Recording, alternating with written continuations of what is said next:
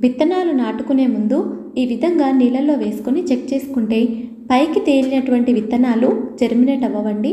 కింద అడుగున ఉన్నటువంటి విత్తనాలు చక్కగా జెర్మినేట్ అవుతాయి. ఈసారి విధంగా ట్రై చేసి చూడండి.